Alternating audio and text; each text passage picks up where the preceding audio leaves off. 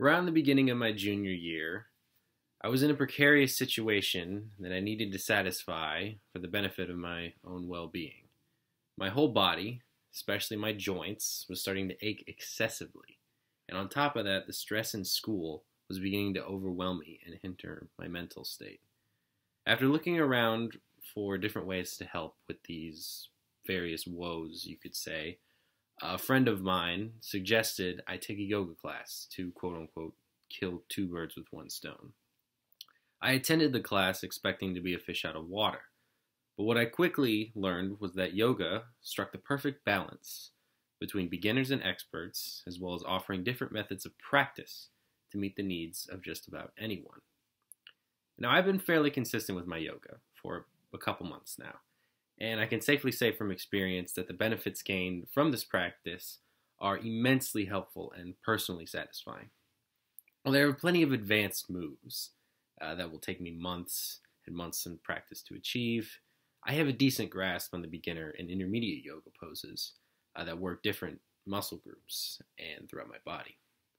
Uh, even if I'm not like Jamie, who told me that she was a 10 when I asked how flexible uh, she was on a scale of 1 to 10, 1 being not flexible, 10 being very flexible.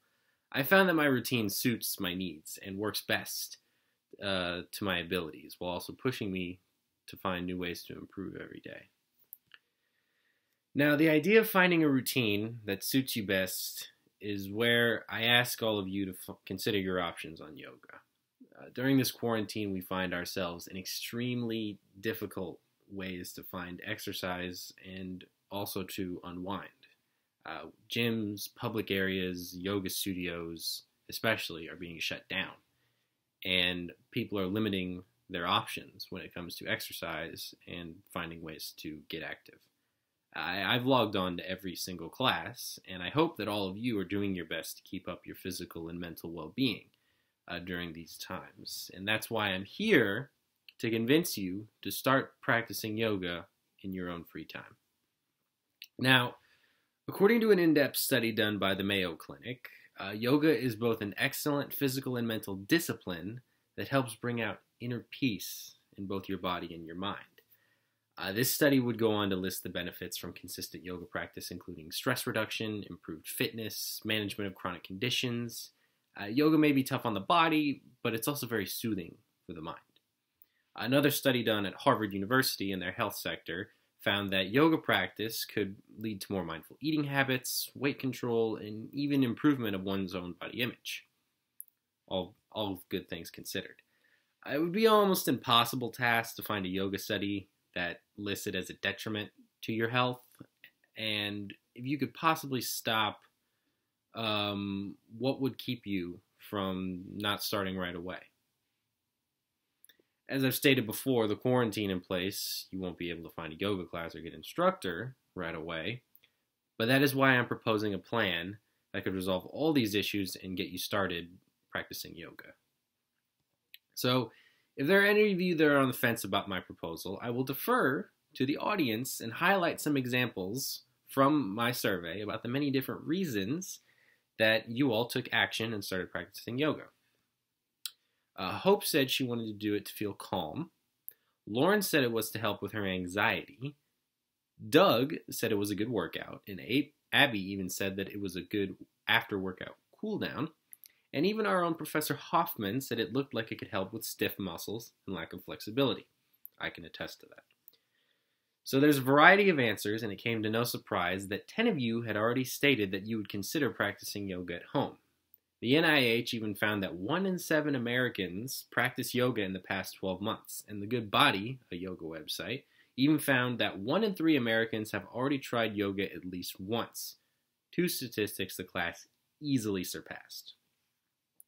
So if you're already feeling stressed about online classes, I know I am, struggling to find ways to keep up your physical fitness, or even some, looking for something to add onto your routine, yoga is your lifeline to help clear your head and keep your mind and body sharp. So, to get this plan in action, it's important to understand the situation we find ourselves in and the downsides that come with it. As stated before, you can attend a yoga class at a recreational facility, and it may be difficult to attain a yoga mat given your specific location. While I do understand that yoga is something that can be done by oneself, if you are very nervous, nervous about the flexibility of your body and which muscle groups would be easiest to tear, you do want to make sure that you just don't go into this blindly. That being said, there are a number of ways to get started doing yoga without the need for expert advice or pricey foam mats. If you don't have a yoga mat, try finding a soft blanket or towel somewhere in your house. You just want to get anything that keep your hands and feet off the floor so your wrists and your ankles don't start swelling up. I know that that's a problem a lot of us might have. You also need to find a spacious area in your house to lay out the mat. Uh, if you have plenty of room to stretch, your room, a basement, a garage, even your backyard can be used so long as you can concentrate and feel at ease. Uh, lastly, if you're if you're unsure where to even begin, the best place and the bottom line is YouTube. YouTube can detail all the poses. YouTube can take you through these breathing techniques. YouTube can even walk you through entire yoga routines. You can limit your search based on skill level and even find tips and advice on how to make your experience suit your personal need. If you even want to take a step further, there are yoga instructors that offer live online classes. There might be a paywall behind it, but if you go an extra step beyond, that option is there. There's a lot of options available to you, and there are so many different ways you can tackle and approach this. And if there are any of you that are still wary about something like yoga, I ask you to weigh the positives against the almost non existent negatives. I can understand when Jonathan tells me he wouldn't want to take an actual yoga class. And I can also see why Julia might not want to try it at home because, you know, she scored a self 1 on the flexibility scale. That is completely understandable. But all things considered, it's no surprise as to why you have already tried yoga and are already on board with the idea of doing it yourself. It is a stressful time to be alive right now. All of us can agree on that. And it's difficult to spread your legs and feel like you're being active with gyms and everything being shut down. We have to use our heads and find ways to overcome the difficulties of being trapped in our homes. Uh, think of yoga as both an exercise and a mentality to get by. Your opportunity to get active. Yoga.